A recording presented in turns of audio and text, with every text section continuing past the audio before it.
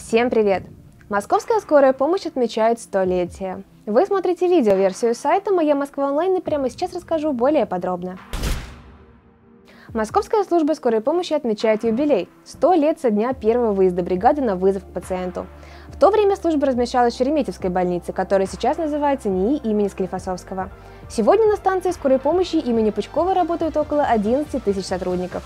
Об этом сообщает сайт мэра и правительства города.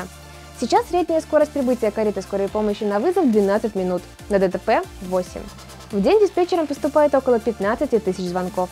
На юбилей в Москве пройдет несколько мероприятий. До 30 октября на Чистопрудном, Тверском и Гоголевском бульварах будут проходить фотовыставки об истории службы скорой помощи.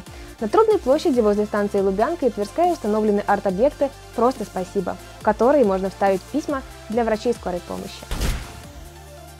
На этом пока все. Еще больше новостей из жизни столицы и не только читайте на сайте mymsk.online. До